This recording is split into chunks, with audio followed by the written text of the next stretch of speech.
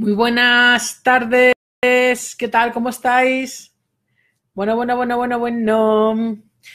¿Qué tal? Hoy es el vídeo número 13 del reto de los 30 días. Estamos casi, casi, casi, casi en el Ecuador de los vídeos. Muy buenas del reto. Estamos haciendo este vídeo desde el perfil de Facebook. Lo digo para quien lo vea después en YouTube. ¿Vale? Eh, bueno, ¿qué tal? A ver si os vais conectando y tal, y tal, y tal, y tal, y tal, y tal, y tal, y tal. Bueno, vamos a hablar hoy, es una solicitud que se ha hecho un poco a complementar lo que se dijo mm, hace unos días del periodo de adaptación del nuevo perro. Vamos a hablar hoy de cómo presentar el nuevo perro que vamos a adoptar con los perros que tenemos en casa. ¿Vale? La otra vez hicimos un general del nuevo perro eh, qué hay que hacer para cuando se adopta un nuevo perro y tal. Hoy vamos a hablar del, cómo. Hola, Araceli, Javi, Íñigo, Concepción, Belén, Pepe. Muy buenas, Yasani. Vamos a hablar de, de cómo hacer. Hola, Concepción, día que te pillo. Teresa. Bueno, os saludo después, Eustaquio. Buenas. Os saludo después a todos. Vamos a hablar de qué hacer cuando adoptamos un perro y tenemos perros en casa, el cómo hacer esta adaptación, porque a veces se comete una serie de errores que provoca que la cosa vaya, mal desde el principio. La otra vez estuvimos diciendo, no voy a mirar ya el, el chat porque si no me distraigo. Mili, Marco, Adolfo, Ángela, Sara, ya me callo y ya no saludo más hasta el final. La otra vez dijimos que que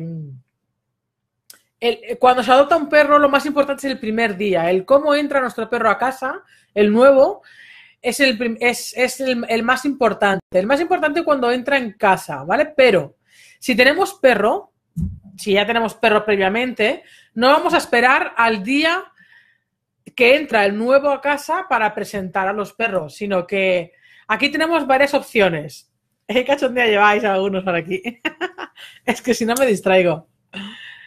Em, hay varias opciones. Una, que el perro te lo den porque te, o te lo has encontrado por la calle y tal, y no tengas como, como un tiempo para poder ir a ver a ese perro, en el caso de que esté en la protectora, en un refugio, lo que sea, que dices, bueno, pues durante 15 días aproximadamente voy a ir con mis perros a ese, a ese lugar y vamos a hacer que se conozcan en un lugar neutro durante varios días antes y así vemos qué, tal, qué relación, qué, qué, vínculo puede haber entre nuestro perro o nuestros perros y el perro nuevo, ¿ok?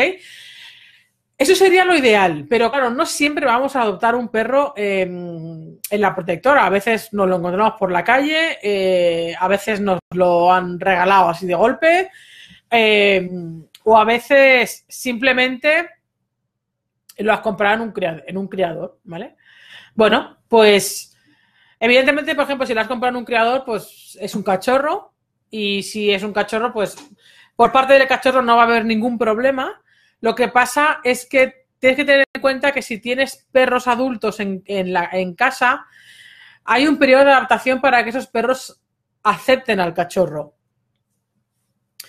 En el caso de que el adoptado sea o el que viene de fuera sea un adulto, y aunque te lo hayas encontrado en la calle y esto, o te lo hayan regalado por la calle, o da igual, el caso es que no hayas tenido tiempo de ir a la protectora con tus perros y tal, pues hay que intentar que alguien te ayude y, y que ese perro nuevo que va a entrar en casa, intentar que se conozcan fuera con tus perros. O sea, que alguien pueda venir, o tu pareja, tus hijos, o lo que sea, o tu amigo, un vecino, yo que sé, eh, a sacar a tus perros también. En este caso sería con el nuevo, que no tiene vínculo con ninguno, con nadie todavía, y tú a tus perros. ¿Para qué? Porque es importante que ese perro nuevo y los perros que tienes en casa se conozcan en la calle. Insisto, hablo exclusivamente prácticamente del tema de cuando el nuevo es un adulto, porque cuando es un cachorro no hay ningún problema, no hay ningún problema por el cachorro, ¿vale?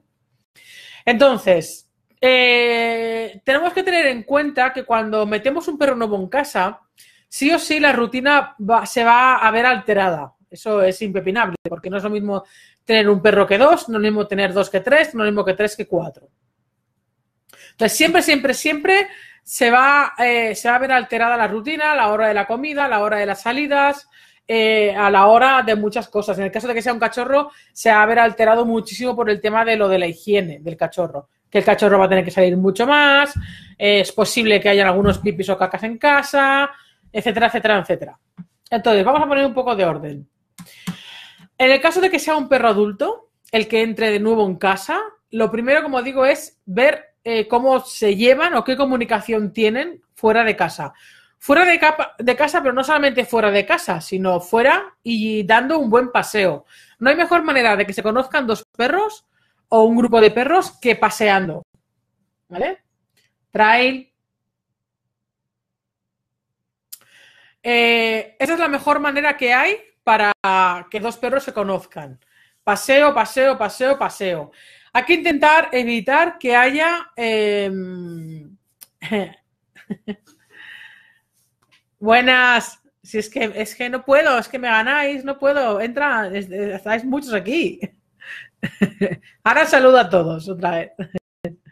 Hay que intentar evitar tensiones innecesarias entre el perro que entra nuevo y el perro y los perros nuestros. Tenemos que evitar también em, la sobreprotección al perro nuevo. Pero también tenemos que evitar la sobreprotección a los nuestros, en el caso de que el perro nuevo venga pues con un carácter quizá un poco más ácido. Tenemos que tener en cuenta, otra cosa que tenemos que tener en cuenta, que esto sí que lo comentamos el otro día, es que cuando metemos un perro nuevo en casa, insisto, adulto, em, no vamos a conocer el verdadero carácter del perro hasta pasado al menos dos meses que es cuando realmente estará ah, adaptado, integrado. Hay perros que al mes eh, ya podrás ver bastante bien lo que hay. Eh, hay perros que a las dos semanas están completamente integrados, pero digamos que conocer, conocer, conocer realmente, igual que sientas un perro nuevo en casa, o sea, igual que tu perro, tu perro cuando entra no lo conoces de repente, tiene que pasar un tiempo hasta que tú veas cómo se comporta en un escenario, en otro, en otro, en esta situación, en la otra, con comida, con no sé qué, con juguetes, con un perro, con gatos, con con todas las situaciones, en la calle, no sé qué. Entonces, todo, eh, eh, todas esas situaciones te van a dar la información de cómo es realmente el perro, qué temperamento tiene, eh, si tiene algún problema o no tiene algún problema, si es tímido, no es tímido, inseguro, con miedo, si tiene los cojones bien puestos, o en el caso de que sea una hembra, pues que también los tenga bien puestos. Entonces, todo eso te lo va a ir dando el tiempo, ¿vale? Conforme va más confianza, va a ir va cogiendo el nuevo, más vas a ir viendo la nueva información que te va a ir proporcionando. Y esto es muy importante porque a veces nos quedamos con la primera impresión, hay que tranquilo, hay que no sé qué, mira qué bueno, mira qué tímido, y luego ha pasado el mes y dices, joder con el perrito, menos mal que era tímido, ¿sabes? O menos mal que era inseguro. ¿Por qué? Porque evidentemente la primera semana no lo vas a conocer ni de coña. Entonces, em, también tenemos que conocer, evidentemente, antes de entrar en un perro nuevo en casa, que nuestros perros sean perros sociables en la calle, que veamos que se, que se juntan con todo tipo de perros y que no hay ningún problema entre la interacción con ellos. Si tenemos un perro con problemas de socialización o con, o con miedos o con mucho miedo a, los perros y tal, sería un poco una imprudencia coger otro perro cuando el nuestro lo va a pasar mal. O sea que realmente esto no es, esto lo que dije el otro día también, ¿no? No es eh, unas pautas fijas ni una cosa de, venga, cojo un perro, me lo meto en mi casa y ya con el tiempo se llevarán bien. Hacer eso es una imprudencia porque no sería la primera, ni la segunda, ni la tercera vez que se ha hecho de esta manera, de coger un perro, meterlo dentro de casa con los nuestros. Eh, evidentemente, nuestro perro está en su casa. El perro que entra nuevo está inseguro, está alerta, mm, no está relajado, entonces pueden haber tensiones, Pueden haber tensiones con las comidas, pueden haber tensiones con, la, con el espacio donde van a, dormir, pueden haber tensiones eh, contigo misma, contigo mismo, porque si el perro, un perro que entra nuevo, eh, está inseguro en el nuevo espacio, te va a coger enseguida como referencia.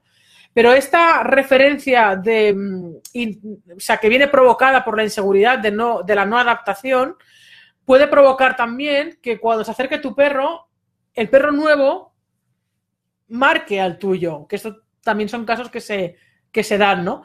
No porque a lo mejor el perro tenga ningún problema, sino porque, o sea, ningún problema con tu perro, sino que, bueno, eh, va a proteger el recurso que eres tú frente a otro que está ahí. O, al contrario, que puede ser tu perro quien proteja su recurso, que eres tú, frente al nuevo. ¿Vale? Entonces, es muy, muy importante hacer una muy buena adaptación, observarles muchísimo, eh, no permitir en casa, pero ningún tipo de tensión, ningún tipo de tensión. Si hay una tensión hay que romperla, hay que sacarlo de ahí y desviar el tema, ¿vale? Eh, luego, cuando entramos un perro nuevo en casa, que tampoco conocemos muy bien cómo es, tampoco lo dejaría de repente al día siguiente con, con mi perro, con mis perros a solas, mientras yo me voy seis horas a trabajar, ¿vale? Eso también sería una imprudencia total porque cualquier cosa puede generar un conflicto. mucho más si no sabemos cómo reacciona el nuevo frente a diferentes cosas. Un palo, un juguete, una piña, eh, una chuche que esté escondida bajo la mesa, un, mil cosas, ¿no? Que puede, puede generar un mínimo de conflicto. Luego tenemos que ver también a nivel de juegos, a nivel de invasión de espacios.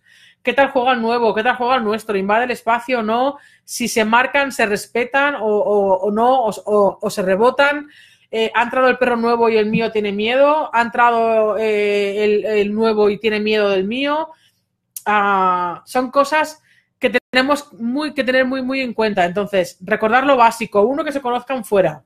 Dos, eh, no quitarles ojos de encima los primeros días otra cosa importante, no a, pesar de que va a cambiar la rutina, evidentemente porque con un perro nuevo va a cambiar la rutina, es importante que el papel de tu perro lo siga teniendo.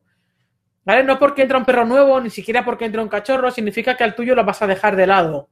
Y si antes era el primero en venir a no sé dónde, ahora va a ser el último. Si era el primero en acariciar, ahora va a ser el último. No, con tus perros tienes que seguir absolutamente la misma rutina. Y el nuevo es el que se tiene que adaptar a, lo, a, lo, a las nuevas normas de la casa, de la convivencia. Y lo siento mucho, pero tiene que ser el último. O sea, que si tú vas a acariciar, eh, tu perro no, se tiene por qué sentir desplazado en ese sentido. Que a veces también se tiende a eso, porque a lo mejor hay el perro nuevo, mira lo que ha pasado, mira qué penita, la han maltratado, la han pegado, la no sé qué, la han abandonado. Y la pena nuestra destroza anímicamente a los perros. O sea, que esto es otra cosa también importante. Depende de la fuente o el origen de donde adoptes a ese perro. Eh, olvídate de su pasado por completo, olvídate de la pena, olvídate de la sobreprotección eh, tienes que verlo como un perro más eh, y tienes que ayudarle. La pena no ayuda, la sobreprotección no ayuda. ¿Vale? y creo que no se me olvida nada más así a grosso modo. Evidentemente, estos, estos directos de retos son pinceladas. No, no vamos a tocar los temas en profundidad porque daría para horas. ¿Vale? Ahora me voy a saludaros a todos porque estáis aquí haciendo un poco el, gamberrete, ¿eh? no, os puedo, no os puedo dejar solos. María José, Samantha, Isabel, Nuria, Adolfo, buenas, Nuria, buenas, Santiago, Pili, Araceli. Esto me pasó a mí cuando eh, me pones unos nombres, Araceli, que no los puedo pronunciar. Tenía seis meses, mi hija llegó un día del instituto con otra cachorra. Espera, que se me va. De cuatro meses aproximadamente, a las tres y cuatro de la tarde se me atragantó el almuerzo.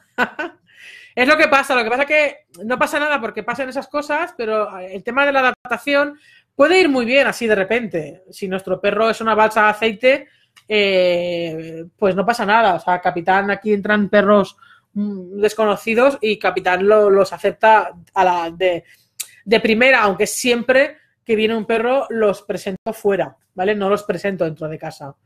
Pero bueno, que luego hay perros y perros. Vicky, buenas. Raúl, Ana, muy buenas tardes. Raquel, Sigra, Iván, eh, no sé si llego muy tarde. Bueno, no. África, Antonella, Araceli. Araceli se va comunicando con, con Iván. Andrea, Lau, Blanca, Rodolfo. Recién llego, ¿cuál es el tema? Andrea, eh, eso, ¿cómo presentar, a, ¿cómo presentar a tu perro a un perro nuevo? Un poquito la adaptación está que cuando entramos un perro nuevo, teniendo perros nosotros. Nuria, la llegada de un perro nuevo, pero cuando ya estás en casa. Araceli, estás en todo, ¿eh? eh Monse, Álvaro, Milagros, Esther, Iván. De ahí que yo en perros adoptados aconsejo que se tenga unas normas de contacto previas en diferentes escenarios, porque dentro de una protectora no muestras un verdadero carácter. Por, poner un ejemplo que no sé si va por ahí. Sí, claro, evidentemente. Es que más que nada el que se vean mientras el perro está en la protectora, evidentemente no dentro, sino fuera, dando un paseo, es para ver si hay un poco de sintonía o, o a ver tiranteces o se ignoran o cuando se vean se quieren, quieren ir el uno por el otro. Eso ya nos va a dar una pista. Eh, muy posiblemente muchas veces lo que pasa es que se ignoran, lo que pasa es que evidentemente el carácter sale, el carácter del nuevo va a salir después. Pero si ya de repente eh, ha habido como buen feeling, ya nos da una pista si lo podemos adoptar o no. Si vamos a la protectora con nuestro perro y el otro perro quiere matar al nuestro, no vamos a ser tan tontos como para adoptar un perro que se quiere cargar al nuestro, ¿vale? Pero ya nos va a dar una pista ahí y luego en casa tenemos que observar muchísimo eh, lo que va sacando este nuevo perro. Nuria, era en principio fue algo conflictiva, no hay que olvidar que era callejera, pero nada más importante que una buena dosis de paciencia, comprensión, algo de enseñanza y muchísimo amor. Ahora es una perrita equilibrada, es la reina.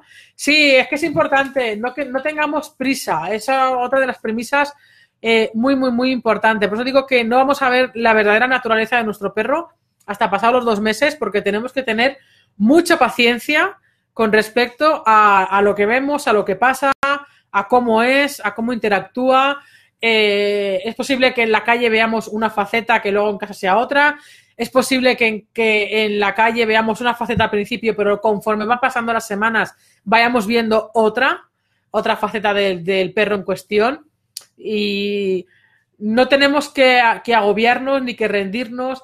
Las devoluciones durante los dos primeros meses son muy frecuentes, son muy, muy, muy frecuentes, por desgracia, pero porque se cometen muchos errores. Entra el perro directamente, no se da el periodo de adaptación correcto, no tenemos la suficiente paciencia, no, no, no tenemos unas, una, no, hemos hecho un poco como todo el proceso eh, de adaptación correcto desde el principio. Entonces, es lo que pasa. Devuelvo al perro porque no se adapta, porque no sé qué, porque no sé cuánto. Bueno, aquí también entraría otros, otros factores importantes que no es el caso, que vendría a ser por parte de la otra fuente, ¿no? Pero no vamos a entrar en eso porque sería polémico.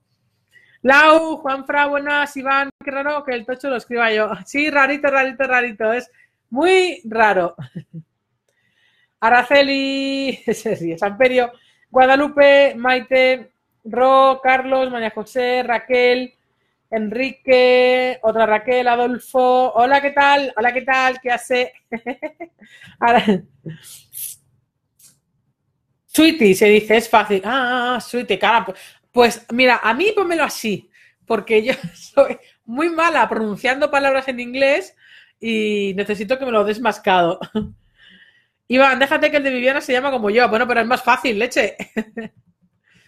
Concepción, yo he pasado por todo eso con la entrada de Whitecap. Es que es blanco y en botella, Concepción. Al final siempre es un poco, a grosso modo es lo mismo, pero luego hay cada, y luego adaptarlo a cada uno. A pesar de que con un cachorro es mucho más sencillo porque el cachorro te lo va a poner fácil en ese sentido. O sea, no, digamos que no va a haber un. El cachorro va a venir con un temperamento, pero tú vas a ir forjando el carácter eh, ya desde bien pequeñito. El, diferente es cuando adoptamos un perro de un año, de dos años, de diez años.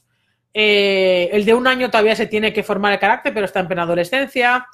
Eh, o sea, cada, al final cada etapa también tiene lo suyo. Y dentro de que todo tiene lo suyo, el, más sencillo es cuando el que entra nuevo es un cachorro.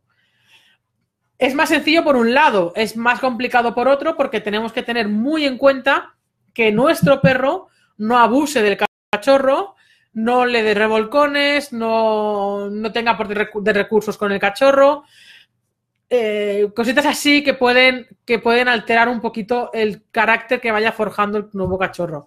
Pero luego también dependerá de la naturaleza de cada cachorro.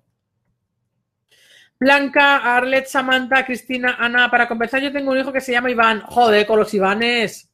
¿No hay más nombres que tienen que ser todos Iván? Lo que decía el otro día, Iván, precisamente, que estaba. Me he enganchado a la serie de, de Merlí me lo dijo alguien por aquí por Facebook, y porque vi un trozo que pusieron y va, me he enganchado de, de narices. Entonces, cuando ya lo termino todo y tal, ya cuando ceno, ceno me pongo Merlí, me veo tres o cuatro episodios de golpe. Y para variar, el chico que tenía, el, uno de los chicos que tenía más problemas se llama como Iván. Qué tontería que decir. Araceli, sí, la suerte fue que Sweetie era una manta y todo le venía bien. Esa es la suerte. Estrella, si se quedan solos porque te vas al trabajo, ¿qué hago? ¿Los dejo en el mismo espacio? Yo, Estrella, eh, si es un perro adulto que no sabemos bien bien cómo va a ir el tema, yo no lo dejaría de repente los dos solos, porque es lo que decía, cualquier cosita puede desencadenar un conflicto, ¿vale? Eh, un cojín, un juguete, una chuche, un palo, lo que sea, el espacio, el sillón, la cama. Cualquier cosa puede generar un conflicto. Imagínate que el tuyo está tumbado en su cama, viene el nuevo, pasa por el cerca, el tuyo le marca para que respete el espacio, pero el nuevo no respeta el espacio y no respeta el marcaje y se enzarzan y cuando llegas tú hay una sangría. ¿Vale? Entonces, yo hasta que no, hasta que no esté supervisado todas las situaciones posibles que puedan haber eh, cuando, se, cuando se queden solos y una vez haya visto bien, bien el nuevo por dónde va, yo personalmente no los dejaría solos si tengo algún tipo de duda, ¿vale? O sea, es lo que te digo. Puede haber casos en los que nuestro perro es una manta eh, y el otro perro es otra manta, ¿vale? O nuestro perro es una manta y, y viene un cachorro. Pues al revés, el cachorro le va a ir muy bien con esta manta, ¿vale? Para, para que le enseñe cosas y tal. Pero si son dos adultos, yo tomaría mis precauciones. En función de cómo sean, insisto, ¿eh? es que no hay una regla fija. Yo hay perros que entran aquí que enseguida sé que los puedo dejar juntos y, hay perros que cuando vienen nuevos, eh, cuando yo me voy los dejo separados de los míos, porque, porque no, porque no, no, hasta que no vea yo cómo va el tema, no, no, no los quiero dejar juntos. Em, Enrique, hola, buen día desde México. ¿Para cuándo el tema de la castración? bueno, a ver si la podemos dar esta semana, Enrique. Te urge, dice. Pero si tu perra es muy joven, tu perra es muy joven. Yo te doy una pista. Tu perra es muy joven para ser castrada.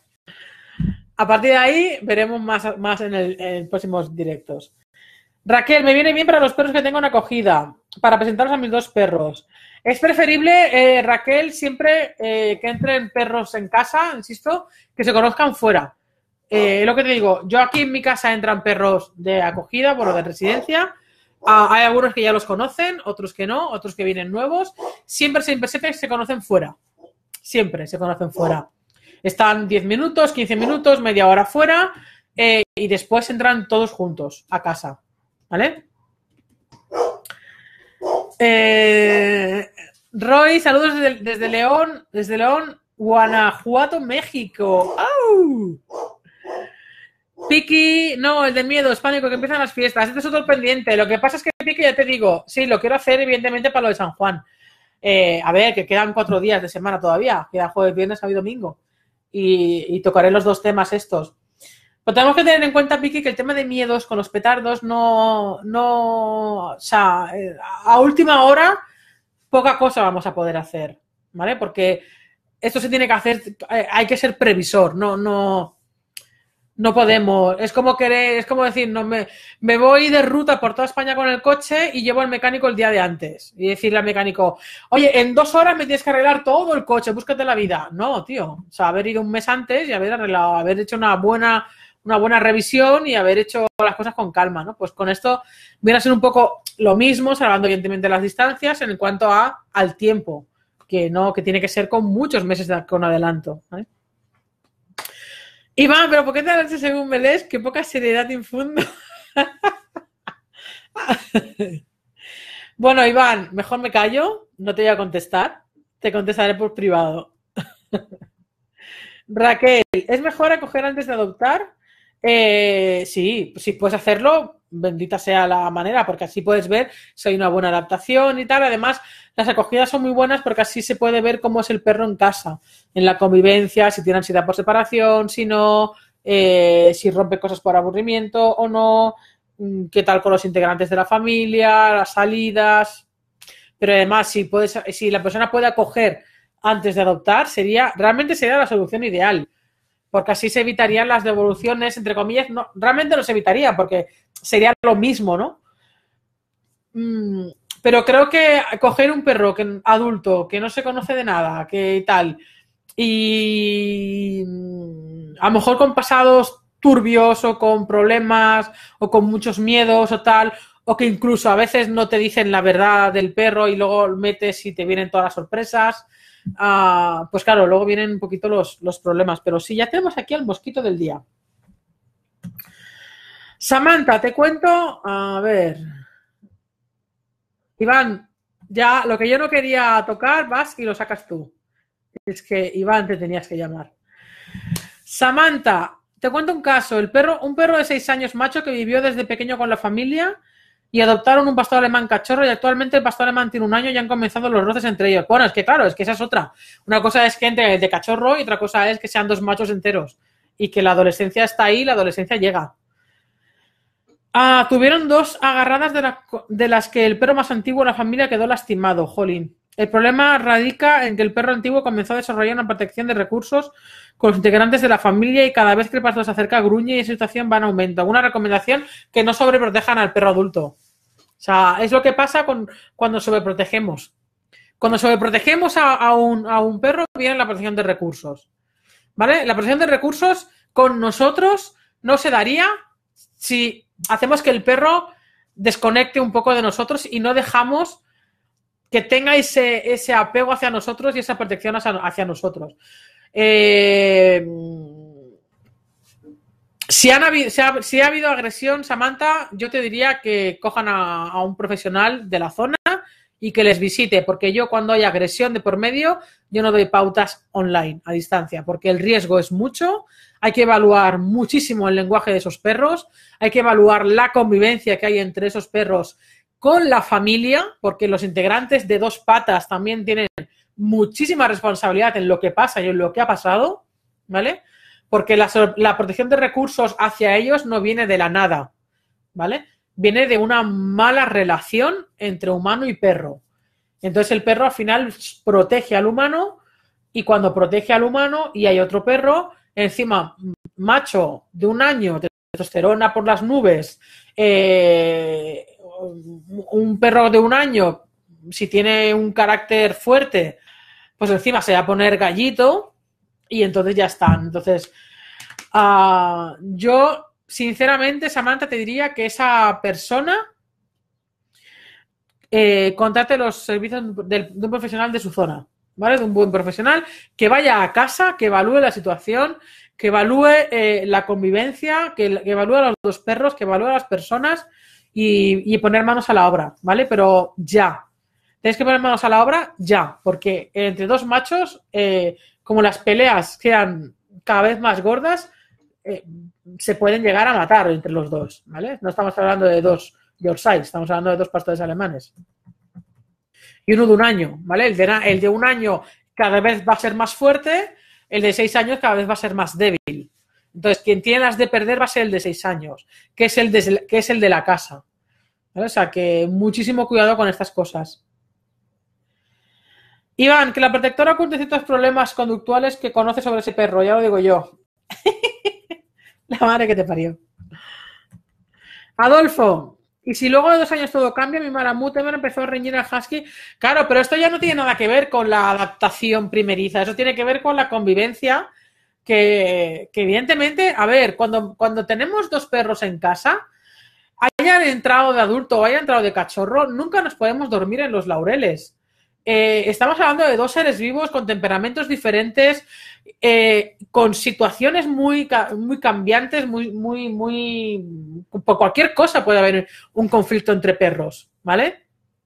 Entonces, uh, no porque hagamos una adaptación correcta el primer año significa que al año siguiente o al cabo de los dos años vayan a haber problemas entre los dos perros. Porque siempre puede pasar. Estamos hablando de la adaptación de los dos, tres primeros meses. En, en este caso, ¿vale? O sea, cómo presentar a tu perro un perro nuevo, ¿vale? Y la presentación es el primer mes y vamos a poner los dos primeros meses hasta que haya una buena adaptación.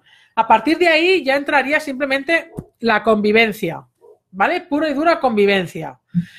Y la convivencia tenemos que supervisarla. Tenemos que supervisar los recursos, tenemos que supervisar las tensiones, tenemos que supervisar absolutamente todo en la relación de los perros que hay en casa. ¿Vale? Por ejemplo, eh, el perro que ha venido hoy, es un perro que se lleva bien con los perros, con los demás, pero tiene protección de recursos con la comida. Entonces, yo con él, cuando les, pongo la comida, eh, no solamente con la comida, también con el espacio.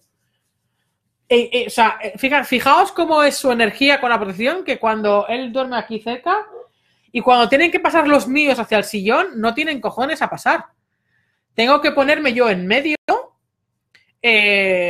para proteger, para proteger entre comillas, para impedir o para decirle al otro, tío, no protejas esto porque esto no es tuyo, ¿vale? Entonces me pongo yo ahí y entonces hago que mis perros pasen al sillón y que eso faltaría que venga un perro de fuera y, mis perros no se pudieran mover. ¿Vale? Pero eh, me refiero que hay que, hay que eh, hay que manejar las situaciones tal como vienen. Entonces, si sabes que un perro tiene eh, o está cogiendo o está generando esta protección de recursos, bueno, pues, pues, pues te van a tener que poner las pilas para que, para trabajar eso, no para evitarlo, sino para trabajarlo. ¿Vale? En el caso de que convivan, evidentemente, porque siempre puede haber conflictos, siempre pueden haber historias. Por, muy, por muchos perros que convivan juntos, eh, pueden haber bullas. Yo tuve a Selva aquí durante un año y pico, se llevaba muy bien con Mori y un día se enzarzaron una pelea porque otra perra empezó la pelea. Y vino Selva y se unió también a la pelea con Mori. Y luego, y luego estaban durmiendo las dos juntas en el sofá, pero eh, hubo un momento de tensión eh, se pelearon y ya está, pues separarlos, separarlas, relajarlas y a volver a convivir otra vez. ¿Sabes? Pero nunca vas a estar exento de que hayan conflictos. Concepción ya aprendí, Carmen, muy buena. Sara, qué pena tenerte de amistad. Ah, ¿La has pedido? Es que estoy al límite Estoy al límite, pero de vez en cuando, pues alguno cae y eso, con lo cual pídeme y mira, miraré. Tengo, eh, hay unas 180 personas esperando, o sea, tengo 180 solicitudes esperando a que acepte, pero no me da, no me caben más. Pero de vez en cuando, digo, de vez en cuando cae uno o dos y puedo añadir uno o dos. Iván, no me he fijado en la camiseta. Sí, la camiseta Lobo Marley. Hay que proteger al lobo. Julio, Carmen, Guadalupe, ese fue un error que cometimos con las cachorras que ahora son adolescentes. Mm, se cometen todos, ¿eh? Yo también, por supuesto. No la veo completa. Ah, de Lobo Marley. es de Lobo Marley, plataforma que por el Lobo. ¿A qué hora el webinar? A las 7, Andrea. Ah, bueno, no me hacéis falta. O sea, no os hago falta porque os contestáis vosotros. Genial, genial. Porque cuando llego yo, fíjate. Eh, Piki ya, pero fue de repente. Pero fue de repente el que. Eh, Piki. Los miedos. Eva, Piki. los miedos no vienen de repente. Otra cosa es que nos demos cuenta de repente, pero. Pero los miedos están ahí. Pero bueno, hablaremos de los miedos, pero te digo, a nivel general, porque poca cosa se puede hacer el problema de Piki Lua viene que de pronto tiraron unos, petardos casi encima, no tenía miedo antes. Ah, vale, si es una experiencia traumática. A ver, si es una experiencia traumática,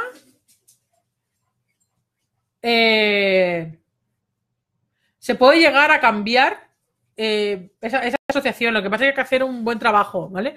Y evidentemente ya estaba tardando el mosquito, sí, ya estaba tardando. Bueno, hablaremos de los miedos, ¿vale? O sea, claro, normalmente los miedos suelen estar ahí desde mucho tiempo, otra cosa es una experiencia traumática, sí, eh, que venga así de repente. Pero precisamente estas son las más sencillas de trabajar. Diferentes son los miedos que vienen de cachorro, los miedos genéticos. Estos miedos son mucho más difíciles y no se pueden, o sea, un perro que tiene miedo hace cinco años eh, difícilmente se va a poder hacer algo eh, en dos días. Pero no te digo que, para San Juan lo puedas tener solucionado, pero eh, sí que es algo que se puede llegar a trabajar. ¿vale? Lo hablaremos en de los miedos. Saludos de México. Ya estaba tardando en mosquitos en Mosqui, enamorado de Moni. Uy, sí, por Dios, qué horror. Otro Iván, Esther, Francisco. Eh, otro Iván, ¿cuántos Ivanes? Andrea y Iván siempre amando lío, sí. Iván, un ángel, tú. Eh, pobre Iván, dice, uh, que, poco lo conoces, Araceli. Eliezer, José María, Araceli, una pregunta. En el caso de adoptar un segundo perro de protectora y que haya que presentarlos en un paseo, ¿cómo se hace suelto sin correa y acercarse desde lejos que se vean? O con correa pasear y que se vayan viendo desde lejos un rato y se acercando poco a poco hasta el contacto y que se vuelan. Yo lo que haría, Araceli, un paseo paralelo, no que se vean de frente, sino el, a lo mejor, pues a una distancia de perro, persona, persona, perro, pero a una distancia más grande y conforme veamos que se va ignorando y tal, pues nos vamos juntando hasta poder pasear juntos. O sea, que eh, compartir el paseo, ¿sabes? No, no pasear y que de repente se vean en la calle, sino lo que se dice compartir. Igual que, igual que si tú pasearas dos o tres perros juntos, pues lo mismo, pero acompañado de otra persona, o sea, de forma paralela para que no haya enfrentamiento visual y que no pueda venir una tensión visual por ese lado, ¿sabes? Sara, sí le pedí estar saturada. sí, te digo, hay 180 y pico personas esperando. Te buscaré y, si tengo opción, o sea, si me deja, te, acepto. Sara Heredia, que me acuerde.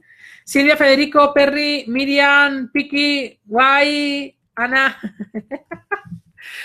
bueno, chicos y chicas, mm, eh, las personas que estéis en la academia, nos vemos a las 7 en el webinar. Eh, intentaremos no estar más de dos horas, ¿vale? Intentaremos plegar a las nueve. Eh, a ver cuánta gente se conecta y cuántos somos ahí en el grupo. Las personas que estéis en la academia, hoy he subido el vídeo, un vídeo adicional eh, en la lección de autocontrol, ¿vale? Os he enviado un email. Tenéis el email también con el enlace a la sala del webinar. tenéis también el enlace en el boletín de novedades de la academia cuando entráis. ¿Ok? Eh, y en breve subiré eh, más vídeos a la lección de autocontrol porque tengo, o sea, ahí he puesto los de las sesiones con con Akira, ¿vale? Tanto con Capitán como con Mori. Eh, la he evaluado para que la veáis y tal. Y, entonces me queda hacer la recopilación de los vídeos que me habéis enviado y hacer otra, hacer otra evaluación, ¿vale? Así que nada, nos vemos, eh, las que estéis en la academia, los que estéis en la academia, nos vemos a, las 7. Y los que no estéis en la academia, pues bueno, no estáis en la academia. eh, los que no estéis en la academia, nos vemos mañana, ¿vale? Hasta luego, chao. Hoy nos ha espetado el correo, si solamente he enviado uno a Isabel. Solo he enviado uno. enviado solamente el de la academia. Muy bien, Raquel, nos vemos mañana. Chao, chao, chao, chao, chao. Chao, chao, chao, chao, chao, chao.